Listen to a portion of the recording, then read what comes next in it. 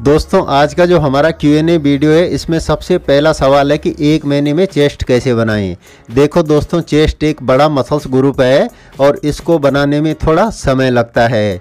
अलग अलग मसल्स को ट्रेन करने के लिए अलग अलग एक्सरसाइज करनी पड़ती है। तो अब मैं आपको बताता हूँ कि अगर आप जिम में वर्कआउट करते हैं तो आपको कौन सा वर्कआउट करना चाहिए? और अगर आप घर पर वर्कआउट करते हैं तब आपको चेस्ट का साइज़ बढ़ाने के लिए कौन कौन सी एक्सरसाइज करनी चाहिए? अगर आप होम वर्कआउट करते हैं तो सबसे पहले आपको नॉर्मल पुशअप लगानी है। और दोस्तों, अगर आप जिम में वर्कआउट करते हैं, तब आपको बारबल बेंच प्रेस लगाना है। इन दोनों एक्सरसाइज से आपका मिडिल चेस्ट बहुत जल्दी ट्रेन होता है। दूसरे नंबर की जो एक्सरसाइज आपको करनी है, वो है इंक्लाइन पुशअप और जिम वर्कआउट में आपको करना है इंक्लाइन डंबल प्रेस इन दोनों एक्सरसाइज से आपका अपर चेस्ट बहुत जल्दी ग्रो होता है। तीसरी जो एक्सरसाइज आपको करनी है, वो है डिक्लाइन पुशअप डिक्लाइन पुशअप से आपका अपर और लोअर चेस्ट दोनों ही एक साथ ट्रेन होते हैं। और जिम में आपको करना है डिक्लाइन बारबल प्रेस, आप डंबल प्रेस भी कर सकते हैं। तो दोस्तों, इन तीनों एक्सरसाइज को अगर आप अपने वर्कआउट रूटीन में शामिल कर लेते हो तो आपके चेस्ट का साइज़ बहुत तेज़ी से ग्रो होगा। और दोस्तों, यहाँ पर मैं आपको एक बहुत ही ज़रूरी बात बता देता हूँ कि हमारी बॉडी को बनाने में डाइट और रेस्ट की महत्वपूर्ण भूमिका होती है। अगर आप चाहते हैं कि आपका चेस्ट तगड़ा और भारी भरकम बने तो जिस दिन आप चेस्ट का वर्कआउट करें, उस दिन एक डाइट मील एक्स्ट्रा लें और एक घंटे का रेस्ट बढ़ा दें। ऐसा करने से आपको बहुत जल्दी अच्छे रिज़ल्ट देखने को मिलेंगे। अब दोस्तों, तेज़ी से बढ़ते हैं अपने दूसरे सवाल की तरफ़ और सवाल ये है कि नाइट फॉल रोकने के लिए क्या करना चाहिए। बहुत अच्छा सवाल है। क्योंकि बहुत सारे लड़के इस समस्या से परेशान हैं।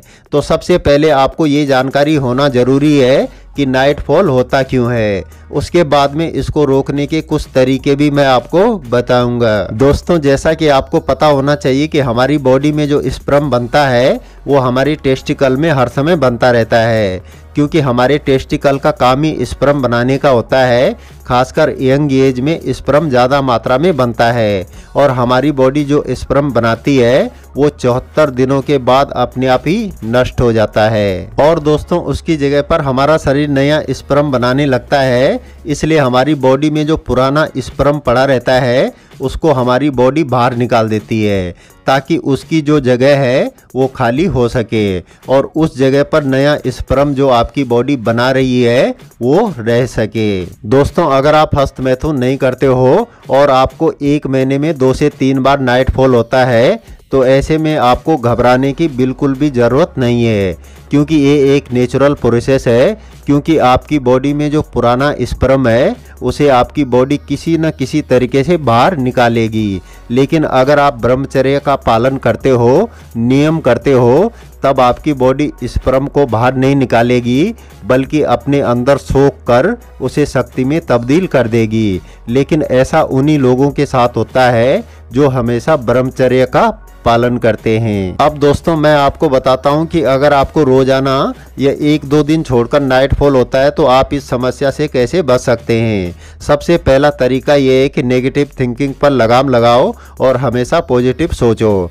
ज़्यादातर लड़के रात को सोने से पहले गलत विचारों को सोचते हैं या फिर पोर्न मूवी को देखते हैं, जिसका नतीजा ये होता है कि जब आप सोते हो तो आपके दिमाग में वही चीज़ें चलती रहती हैं और आपको उन्हीं चीज़ों के सपने भी कभी कभी आने लगते हैं। और दोस्तों, मैं आपको बताऊँ कि हमारे माइंड की सबसे बड़ी दिक्कत ये है कि ये असली और नकली चीज़ों में फ़र्क नहीं कर पाता है और जब आपको रात में गलत चीज़ों के सपने आते हैं तब आपकी बॉडी को ये लगता है कि ऐसा उसके साथ में रियल में हो रहा है और ऐसी स्थिति में आपकी बॉडी कंट्रोल से बाहर हो जाती है और आपका नाइट फॉल होने लगता है। इसलिए दोस्तों, रात को सोने से पहले नेगेटिव थिंकिंग ना करें और मोबाइल को अलग से उठाकर रख दें। सोने से पहले हमेशा अच्छे विचार मन में रखें।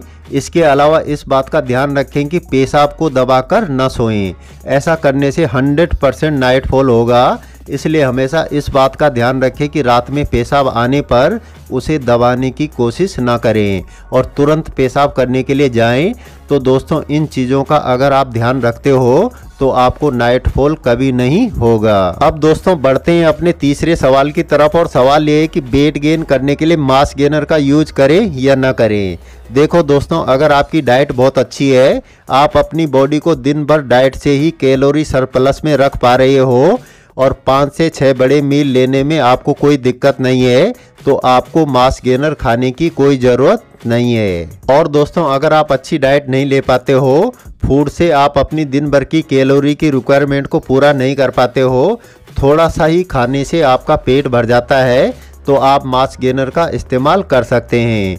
इसमें कोई बुराई नहीं है दोस्तों, यूँ तो मार्केट में बहुत सारे महँगे से महँगे मास गेनर उपलब्ध हैं, जो कि आम आदमी की जेब पर बहुत भारी हैं।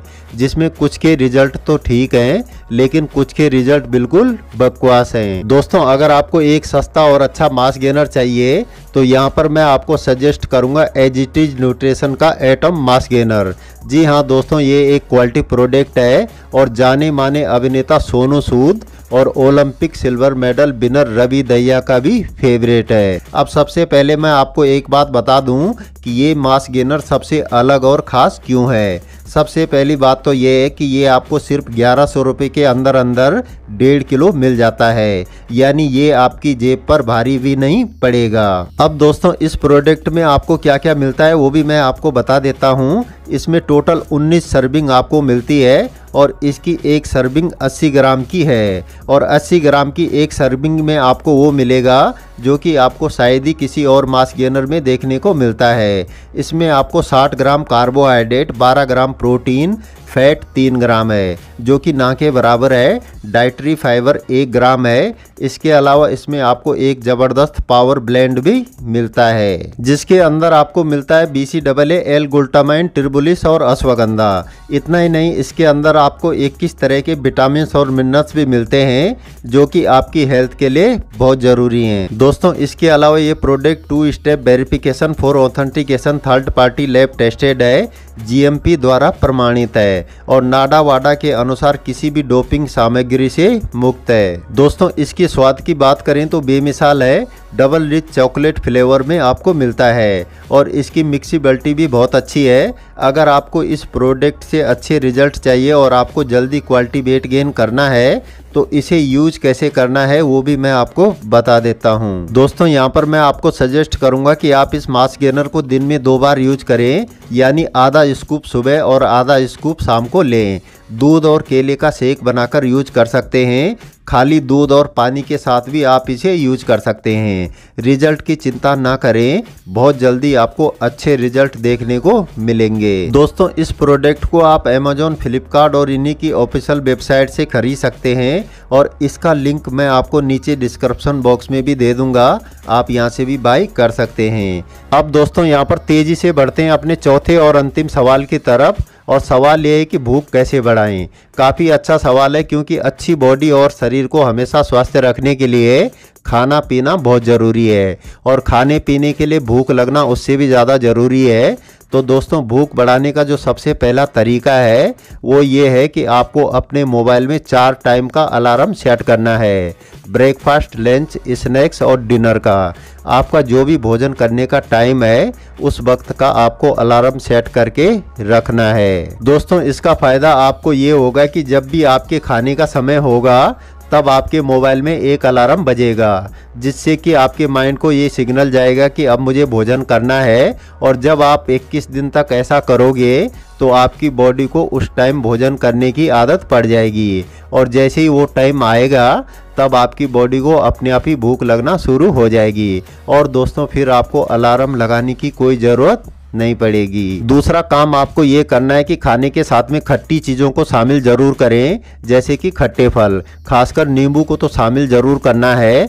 आपने कभी ना कभी इस चीज़ का अनुभव ज़रूर किया होगा कि जब भी आप अपने खाने के साथ में खट्टी चीज़ों को खाते हो, तब आप उस खाने को पहले के मुकाबले थोड़ा ज़्यादा खाते हो। और ऐसा इसलिए होता है क्योंकि खट्टी चीज़ों में कुछ अम्ल पाए जाते हैं और यही अम्ल आपकी भूख को बढ़ाने का कार्य करते हैं। और दोस्तों, इसके साथ ही जब आप खट्टे फल वगैरह खाते हो तो आपके मुँह से सलाइवा ज़्यादा निकलता है, जिसे हम मुँह की लार भी कहते हैं। और यही सलाइबा आपके पाचन तंत्र में पहुंचकर आपकी भूख को पहले के मुकाबले ज़्यादा बढ़ा देता है। तो अगर आपको भूख नहीं लगती है, अपनी डाइट में खट्टे फल और खासकर नींबू को ज़रूर ऐड करें। तो दोस्तों, आज का वीडियो यहीं पर समाप्त होता है। मिलते हैं अगले वीडियो में, तब तक के लिए जय हिंद।